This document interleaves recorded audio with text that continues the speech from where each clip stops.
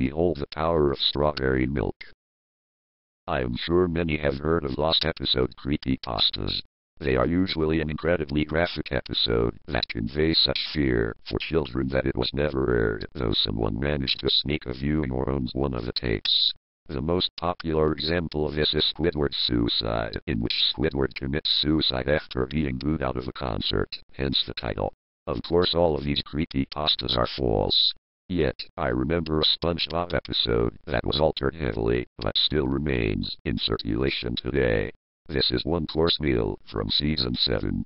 In the episode Mr. Krabs finds out that Plankton is horrified of whales and uses it to his advantage.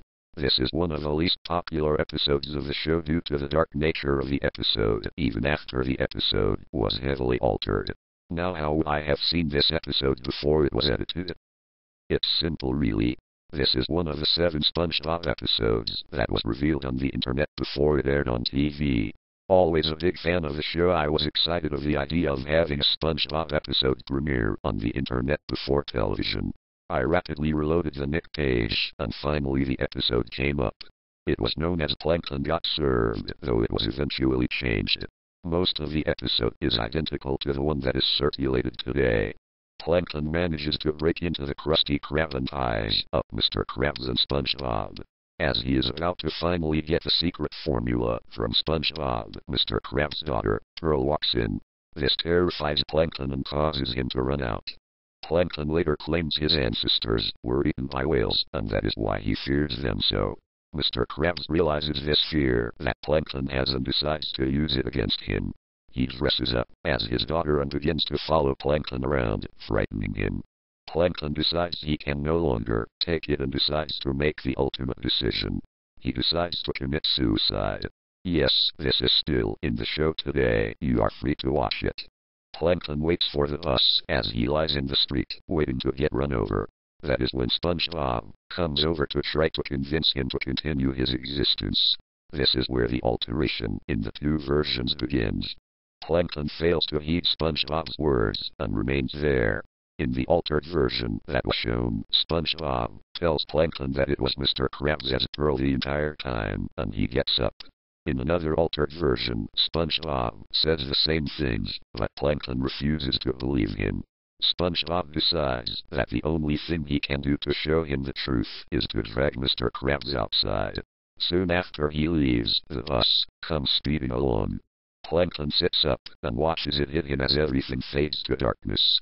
Plankton finds himself standing on a single platform overlooking darkness.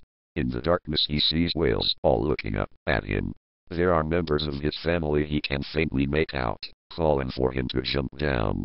Plankton looks above and sees a light, a light he can scarcely believe. This would seem to represent heaven and hell. Plankton, resigned to his fate, jumps and plunges down into the darkness. This is when the episode ends, and the traditional credits for the show are shown, parallel to Plankton's descent into the darkness.